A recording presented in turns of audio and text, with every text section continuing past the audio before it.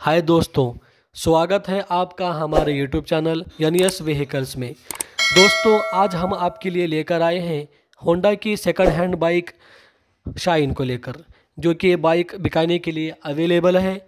अगर आप इस बाइक के बारे में और भी जानना चाहते हैं तो लास्ट तक हमारे इस वीडियो में बने रहें। बात करते हैं इस बाइक के मॉडल की। ये बाइक का मॉडल है 2011 और बात करते हैं इस बाइक के कंडीशन की। जैसा कि आप वीडियो में देख रहे हैं, इस बाइक की कंडीशन दोस्तों बहुत अच्छी है और इस बाइक के डॉक्यूमेंट्स भी सब क्लियर हैं।